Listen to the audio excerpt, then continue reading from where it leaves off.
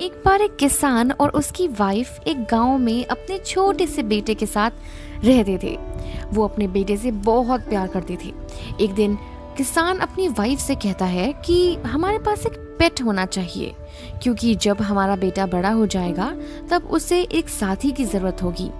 तो वही पेट हमारे बेटे का साथी बनेगा। उसकी वाइफ को यह आइडिया बहुत अच्छा लगता है। एक शाम फार्मर एक छोटा सा नेवला खरीद लाता है। उसकी वाइफ कहती है कि अभी तो ये बहुत छोटा है, पर ये जल्दी से बड़ा हो जाएगा तो हमारे बेटे का फ्रेंड बन जाएगा।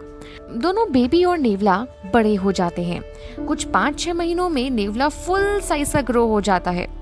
एक बहुत प्यारा जानवर जिसकी दो चमकीली आँखें और एक पूछ है, पर फार्मर का बेटा अभी भी छोटा ही है। जो पल्ले में सोता है और रोता रहता है। एक दिन फार्मर की वाइफ को मार्केट जाना था तो उसने बेबी को फ़ीड कराकर पल्ले में सुला दिया और अपनी बास्केट उठाई और अपने हस्बैंड से कहा कि मैं बाज़ार को जा रही हूँ और जो बेबी है वो सो रहा है, उसका ख्याल रखना। सही कहूँ तो मुझे बेबी को नेवले के साथ अकेला छोड़ना बिल्कुल पसंद नहीं। फार्मर कहता है, तुम्हें बिल्कुल भी टेंशन लेने की ज़रूरत नहीं है। नेवला एक बहुत ही फ्रेंडली एनिमल है, जो हमारे बच्चे की तरह है। बहुत प्यारा सा। और तुम जानती हो, वो हमारे बेबी का बेस्ट फ्रेंड बन गया है। उसकी वाइफ मार्केट को चली जाती है। और फार्मर के पास घर में ऐसा कोई काम नहीं होता है कि वो क्या करे। तो वो सोचता है कि चलो बाहर चलते हैं और एक नज़र ज़रा फ़ील्ड पर डाल देता हूँ। घर से बहुत दूर तो है नहीं फ़ील्ड तो एक नज़र वहाँ दिखाता हूँ। फार्मर को रास्ते में कुछ दोस्त मिल जाते हैं और जल्दी घर लौटा पाना बड़ा मुश्किल सा हो जाता है। फार्मर की वाइफ शॉपिंग पूरी करने के बाद घर आती है, एक भारी सी सामान से भरी बास्केट के साथ। और वो देखती है कि जो नेवला है, वो बाहर बैठा हुआ उसका इंतज़ार कर रहा था। तो जैसे ही नेवला उसको देखता है तो वो खुशी के मारे उसके पास चला आता है।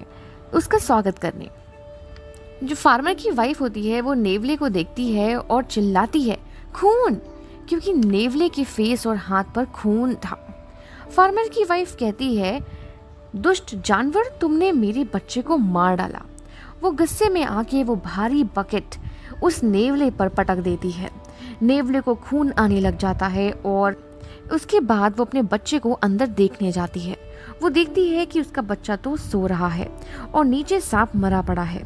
तब उसको एहसास होता है कि कहानी तो कुछ और थी। वो बाहर भागती हुई नेवले के पास जाती है और कहती है, तुमने मेरे बच्चे को बचा लिया और सांप को मार डाला। इसके लिए बहुत बहुत धन्यवाद। और बताओ मैं तुम्हारे साथ कितना बुरा व्यवहार किया। जब वो नेवले को छूती है तो उसे पता चलता है कि नेवला तो अब मर चुका है।